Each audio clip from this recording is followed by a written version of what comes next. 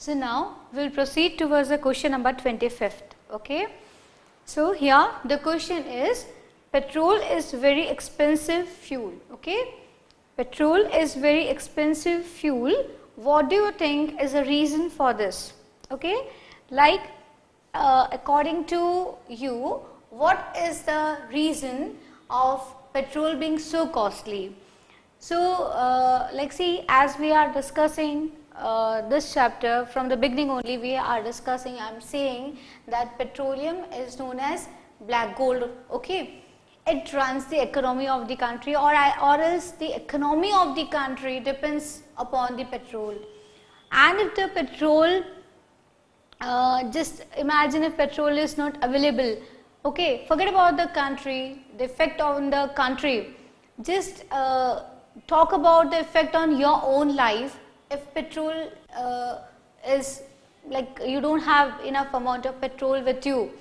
So what, what will happen actually, it, the whole transport system, your communication, okay, your way of uh, approaching others will be stopped because there will be no vehicle. Okay, so uh, like, like what is the reason of being so costly? Whenever the thing is very important, okay, whenever the thing is very important, very very useful and at the same time the supply is also very limited, okay, then automatically that particular thing becomes costly. So here also when we talk about the petrol, we know that this is what? Exhaustible fuels, okay, petrol, uh, coal, all these are exhaustible fuels. And in case of petrol, uh, when we say uh, uh only about the petrol, we all know our vehicles run upon uh, because of the petrol. So it is costly uh, because it is exhaustible fuel.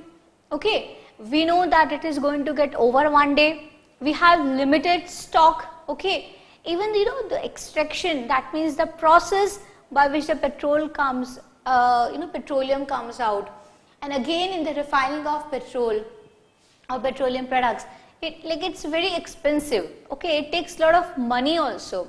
So even this is one of the reason. Then children uh, like uh, then it's not available in all the countries okay? Uh, so this is also one of the factor that it's not available like it's not so easy to get petrol okay? Then taxes are there okay? So these all things it combines and it build up the cost of the petrol and due to which the, which the cost of the petrol it rises up okay so what are the reasons which we have discussed? See maybe because of the uh, we have limited stock of the petrol. It is exhaustible fuel that means we know that it is going to get over one day. Okay. We cannot make petrol in the laboratory. Okay, that is also the reason that it is costly. If it is so like we can make the petrol in the laboratories, then the cost would have quite low because it, it becomes then renewable resources. But at present we all know petrol is non-renewable resources. Okay? And import and export extraction takes a lot of it's expensive. Okay? Refining is expensive. So all these reasons make petrol very very expensive. So let's write the answer. Answer number 25th okay Petrol is very expensive fuel. What do you think is the reason for this? Okay, so maybe one is extraction is time consuming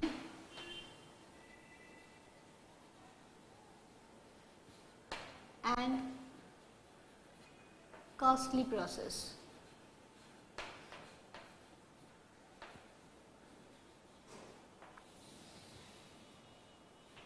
Okay. Then again what can be the reason? Like it runs the it runs many vehicles. That means what? The transport system depends upon this. So transport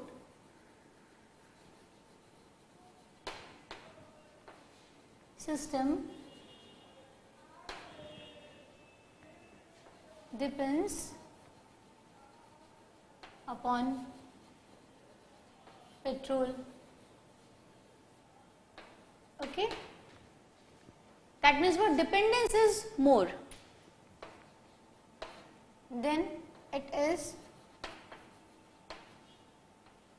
not found equally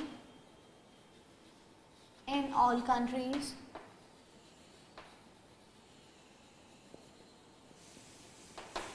okay? Then it is non-renewable resources.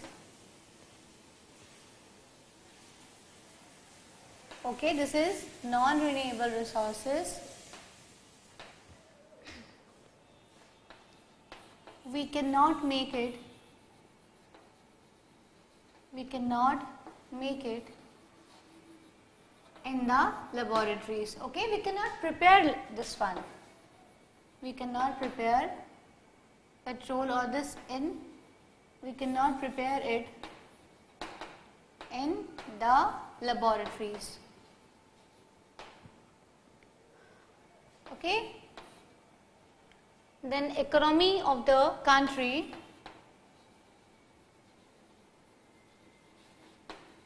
Economy of the country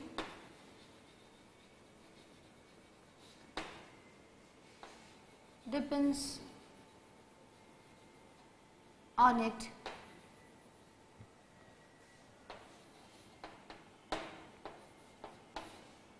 Due to taxes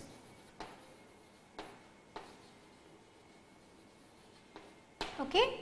So all these reasons which we have discussed is responsible for the high cost of petrol. So just main just extraction is time consuming and costly process. It runs many vehicles. Tran transport system depends upon petrol. It is not found equally in all countries. It is non-renewable resources.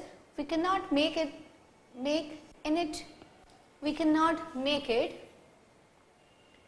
we cannot make it in the laboratory. Economy of the country depends on it. Okay and again if you want to elaborate this one so we have limited resources yes we have we have limited stock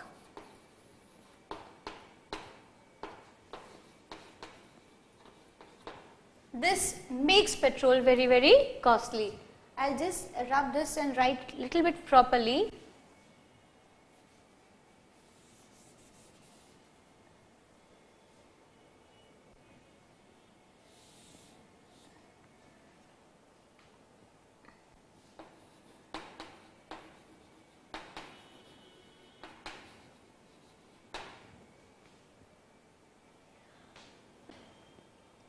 So, all these reasons make petrol very very costly.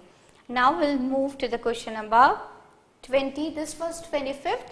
Now, we will move to the question number 26. Now, let me read the question. It is said that fossil fuels will eventually get exhausted.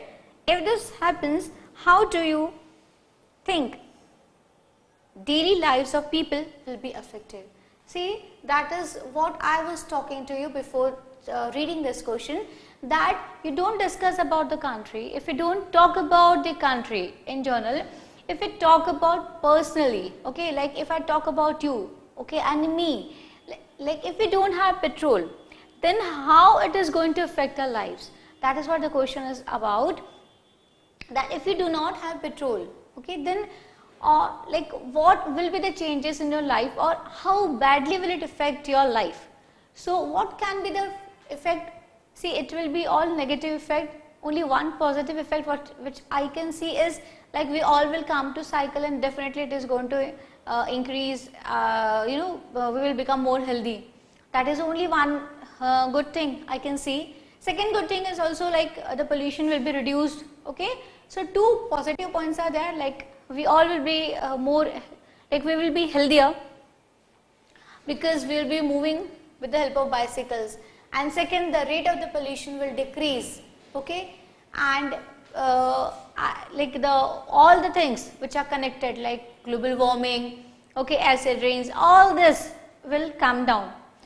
But if we talk about uh, in the, like the negative aspect of uh, unavailability of the petrol, so we can talk about like the transport system will be like we don't have then like when I am talking about petrol it is not about petrol, petrol and diesel. So we won't be left with any fast uh, transport system, import and export will become very very difficult. Okay, even to transport the things from one place to another in our country itself will become very very difficult. Okay, again we will have to move to the olden uh, methods, how we to do it earlier. Like uh, maybe because uh, by you know uh, some other things like maybe use by using bullock carts and some all, all such kind of uh, things. But i am very very sure before this happens uh, scientists are definitely going to find out about some alternative sources which can run our vehicle in a very excellent way properly okay? So at present the question is it is said that fossil fuels will eventually get exhausted if this happens how do you think daily lives of people will be affected? So, what will happen? It's 26. So, communication, communication means what way? Like transportation will become very, very difficult. Okay. So, transport system will collapse, will be disturbed or collapsed. Okay. Transport system will be collapsed or disturbed. Now, what can be the second point?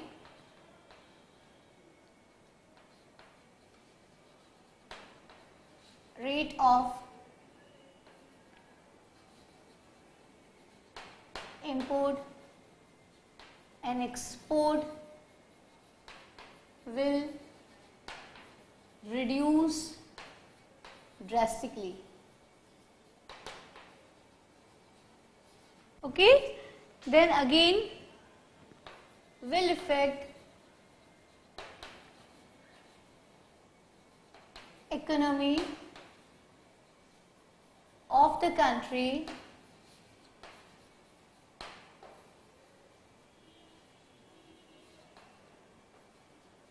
in negative way. Okay in negative way.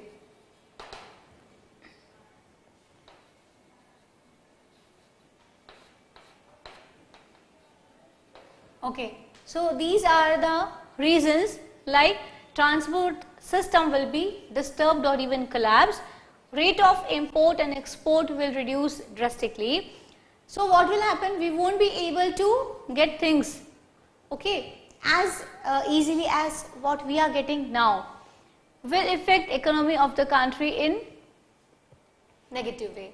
There are many more reasons which you can write okay let uh, like we have discussed and uh, such kind of answers in fact you uh, people should write in your own words. So definitely there are uh, like many many points can be included in this but these are the major points and now after this you can elaborate the answer in your own words like how it is going to affect your life okay? Your uh, like uh, how it is going to change your life.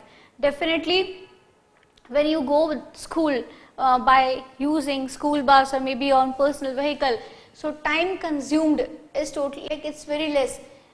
But in absence of petrol and diesel you will have to move by some uh, vehicle like you know uh, maybe bicycle or maybe some battery uh, vehicle. So it is going to affect your life in uh, many ways. So please put up your points over here.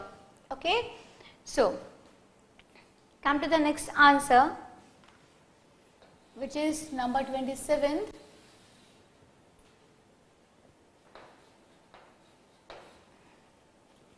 I'll just read out the question compare the usefulness of coal and petroleum and effects on the environment. Like what we have to compare, we have to compare the like uh, useful, like how coal and petrol are useful for us, but again we have to compare it how it is affecting the nature okay how it is affecting our environment so how what we have to compare they are asking us to compare the good like or the how coal and petrol are useful for us okay? And it is contrast with what? It is contrast with how they are affecting our uh, lives in the negative way okay? So children again we all know coal and petrol are exhaustible resources okay? But they produce lot of energy they are very good fuels okay? They run our country they run our lives okay? But at the same time uh, you know they affect how they, how they affect our life because of the pollution which is being created by the fossil fuels like coal and petroleum. The smoke which comes out due to the burning of coal and petroleum it affects the uh, environment okay it brings many particles in the air uh, which is very harmful for us it brings many uh, uh gases uh, in that uh, in the atmosphere which is again very poisonous and not only poisonous but these gases also these gases are also responsible for acid rain. These gases are also responsible for global warming. Okay. So, you know both the part are there. One is what these uh, fossil fuels are very very important. These fossil fuels are very very useful as what they are doing they are the main uh, source of fuels for the vehicles. Okay, they okay this is a one point then they are also used like they means I am talking about now coal. Coal is used I should not say they like few of the fossil fuels are used as a domestic fuel also. Okay, it is used as a fuel in the industries. These all are the very very good point. These all are very important point.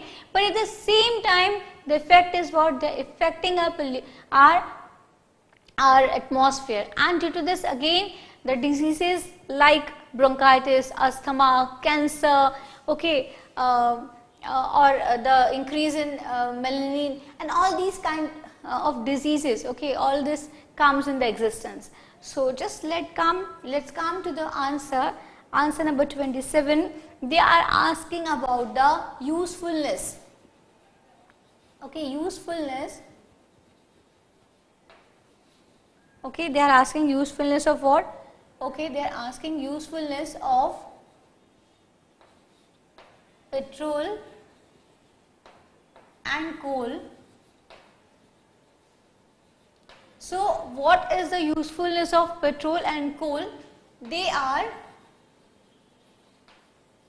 they are excellent they are excellent fuel. Okay? They are excellent fuel. Then can be used in industries and even in few domestic purpose Okay. So, what it is? They are excellent fuels, can be used in industries and even in few domestic purposes. Okay. But now what is the effect? Negative effect. Okay. Negative part. So, what is the negative part children? Just now we have discussed it increases it increases pollution okay due to which what happens when the pollution increases? Many gases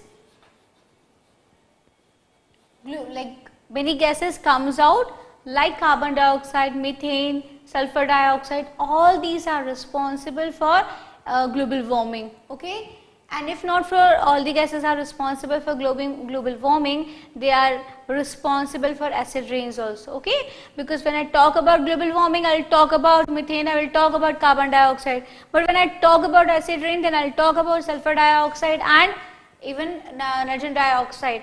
So, how it affects? It increases pollution which give rise to, I am writing in the manner of a flow chart, but you can understand it increases global warming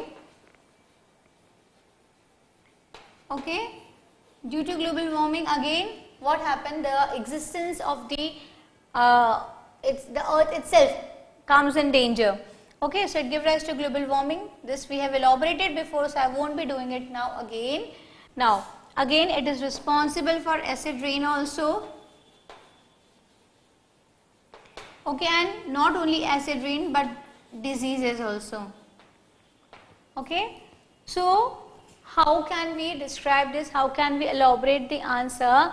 What has to be done in this? We have to explain the useful part of the coal and petrol. So what are the important part, what is the, what is the importance of coal and petrol? So obviously these are used as fuels, they are used uh, like petrol can be also used in the dry cleaning you know and the coal it is used as a fuel in industries as well as in a domestic purpose okay? So these these are very very important.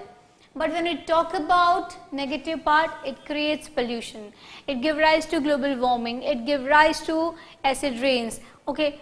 Even you know in the mining of coal lot of pollution is created. So obviously this is very very dangerous okay? So both the part is there. Now it's upon us how to use the resources how to uh, know bring this thing down. How to decrease the negative part and how to increase the positive part it's upon us. Okay? So this was about 27th answer. Now we'll move to the answer number 28 suppose you are able to make a new fuel which can be an alternative to the fossil fuels what will be its characteristics? Okay? So they are saying if you are so capable that you can design your own fuel, you can create a fuel, okay, you can make one fuel. So what are the characteristics, what are the features which you want to see in that fuel or what are the features which you will be uh, keeping in mind developing or making that particular fuel, okay. So what they are asking to make the simple e uh, question easy and simple, they are asking like suppose if you design a fuel by yourself, what are the points, what are the features, what are the characteristics which you want to see in that fuel. So this is the question which obviously you are supposed to write the answer, okay. But still like uh, in journal if we want a fuel, okay, if we want a fuel to be designed for us. So which kind of fuel do we want? Which kind of fuel do we need to have is an ideal fuel, okay? So a fuel should be of what? It should be smokeless, okay? It should be, uh, it should not pollute the atmosphere and even if it is polluting, it should be like not to a very lesser extent. It should not be very costly, it should be available easily, okay? It should not leave any kind of residue after it gets burned. Okay, like when uh, we talk about coal after burning, what happened? Ashes there. But when we talk about uh, LPG, there is no uh, residue. So that is what we want. Okay, so what we want, if we talk about an excellent fuel, there are certain characteristics of ideal fuel which we want to be there in. Okay, so what it should be? It should be smokeless. Okay? Then it should be less or uh, you know it should not create uh, it should not pollute the atmosphere. So less or should not write less should not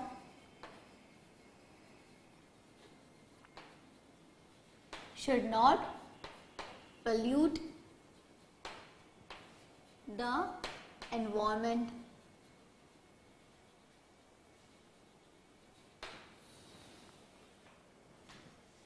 Okay? It should not pollute the environment. It should be smokeless. Okay? And it should be even cheaper also. This one, this was second point, now third point. Should be cheaper.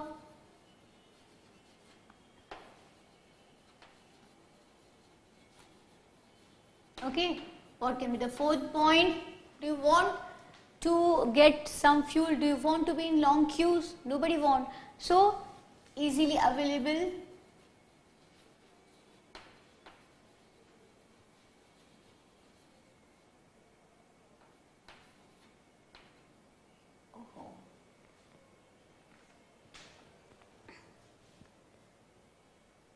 Now, fifth point, what can be the fifth point? Like see it is, uh, it should not leave, it should not leave any residue after burning. Okay. So, uh, and even it should produce a good amount of energy. Should produce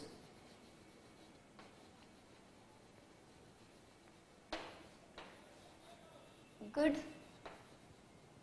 amount of energy. Okay. Then its boiling point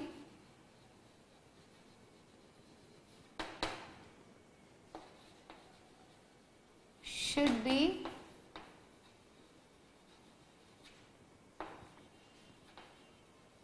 higher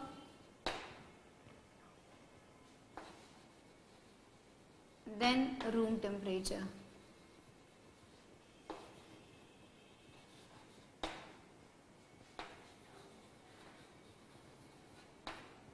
Okay. So, I have discussed few points and few points this one which I have not discussed. So, what is there? Like it should produce good amount of energy. Like it should not be the case when we are burning, when we are using these fuels, it's, it's not producing proper amount of energy. The heat should be produced properly, okay.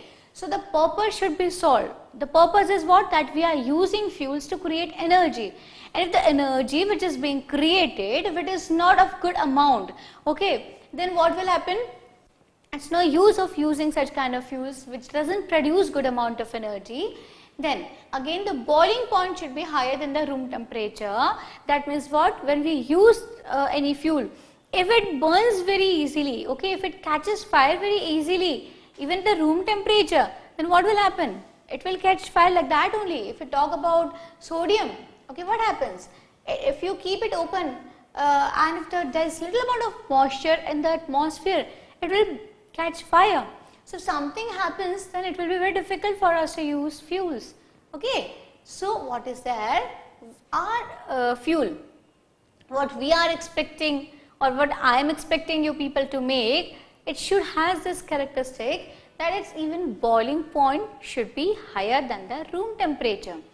It's not the case that when I am saying it should be higher than the room temperature, so it just a difference of 1 and 2 degrees, no little bit higher so that we need to burn it.